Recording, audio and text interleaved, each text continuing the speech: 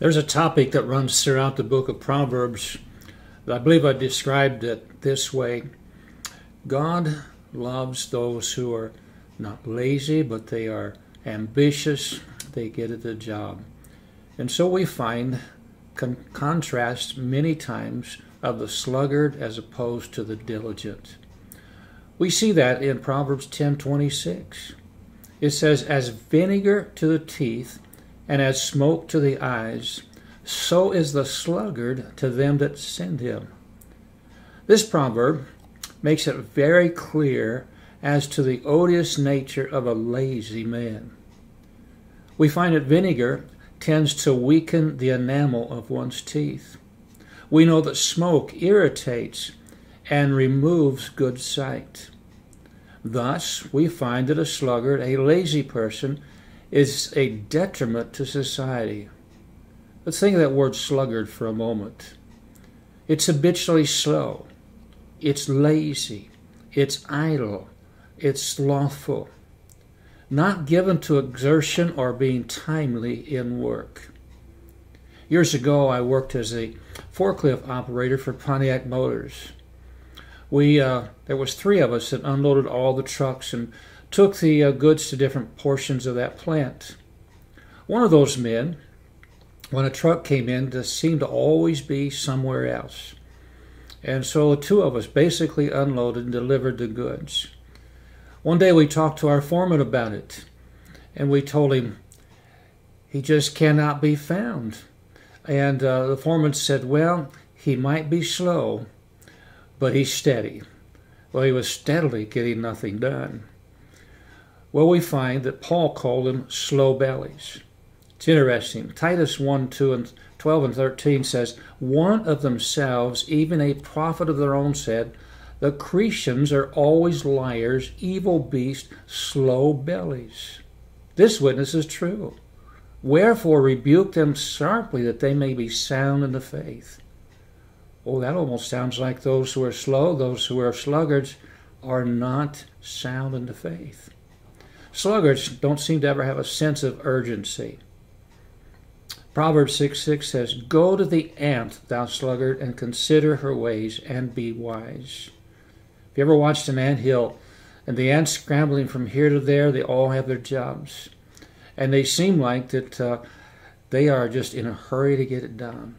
Well, we know that sluggards only do not have a sense of urgency, but they love to sleep. In Proverbs again, chapter 6, 9, 10, 11 says, How long wilt thou sleep, O sluggard? When wilt thou rise out of thy sleep? Yet a little sleep, a little slumber, a little folding of the hands to sleep. So shall thy poverty come as one that travelleth, and thy want as an armed man. Well, sluggards, they want more, but they don't want to put any effort into it. The Proverbs says in chapter 13, verse 4, the soul of the sluggard desireth and hath nothing, but the soul of the diligent shall be made fat. We find that these kind are often defeated by very minor hindrances. Proverbs 20, verse 4. He says, The sluggard will not plow by reason of the cold. He's got an excuse. Therefore shall he beg and harvest and have nothing. The other thing I find amongst lazy people, they always have a reason to excuse themselves. And Proverbs deals with that. He says in chapter 26, 16, The sluggard is wiser in his own conceit than seven men that can render a reason.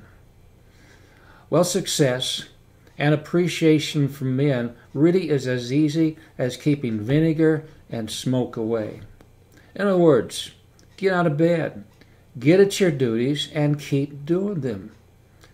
Proverbs 10:4 He becometh poor that dealeth with a slack hand, but the hand of the diligent maketh rich. Proverbs 12:24 The hand of the diligent shall bear rule, but the slothful shall be under tribute. 22:29 Seest thou a man diligent in his business? He shall stand before kings. He shall not stand before mean men. We need to have the attitude of the Lord Jesus Christ. In John 4, verse 34, Jesus said to them, My meat is to do the will of him that sent me and to finish his work. I remember years ago when I was a little kid, I thought it'd be great. We had a stump in the backyard. I'd take the axe and I'd, I'd chop that thing away. It just sounded like great fun. My mother, she told me, she says, if you start it, son, you're going to finish it. And uh, so I began, and after about 10 minutes, it was becoming work. It wasn't fun any longer. And I kept chopping and chopping, and uh, finally I got up and, and uh, I snuck away. But a little later, my mother made me go back to it. Do you know it took me several weeks, but I got it done? I experimented in many different things. I tried to pour gas on it and burn it. I uh, used an axe. I took a drill to it. But uh, my mother wanted to make sure that she did not raise a lazy son. And I thank God for that. May God bless you today.